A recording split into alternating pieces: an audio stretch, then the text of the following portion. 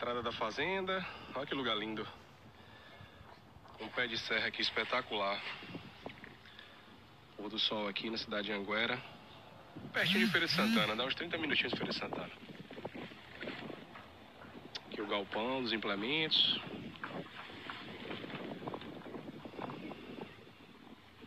Uma parte de terminação de bovinos.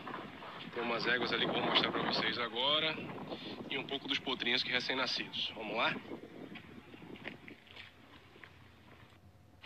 Começar com esse potrinho aqui, ó. Essa potrinha, na verdade. Essa aqui é uma neta de cheio de fio cremela. Nasceu esse filho da Eternalize. Uma filhinha da Eternalize. Cremela. Tá aqui passeando. Olha que coisa linda. Égua 100% a campo, a potrada também 100% a campo.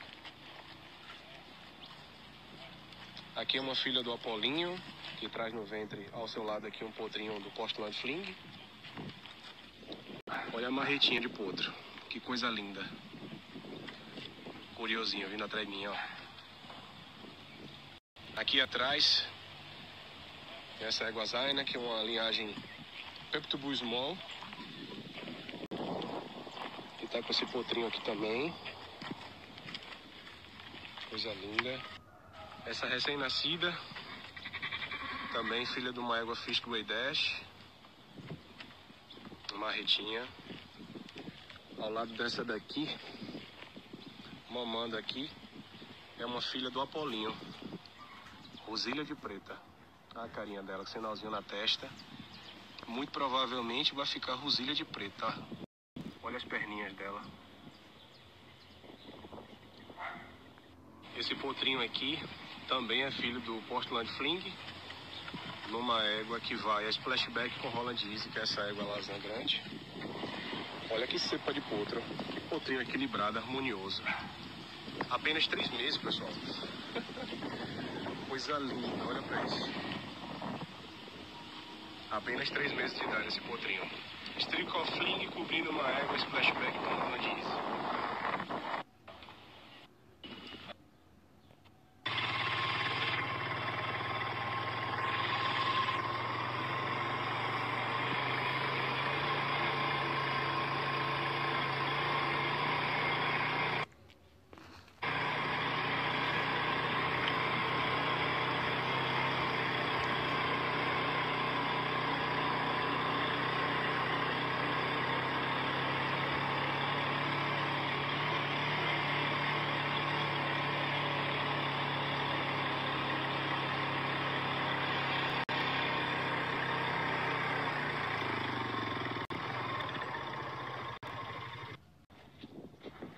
Olha que coisa linda.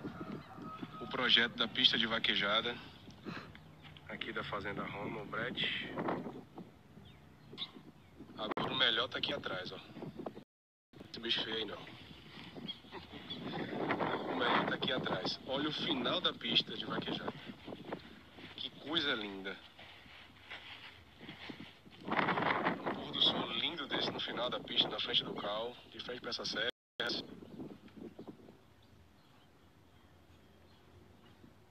Que lugar lindo. Olha a estrutura da lateral da pista. De frente para uma serra do lado de cá. Tá aqui o aquecedor. Que coisa linda.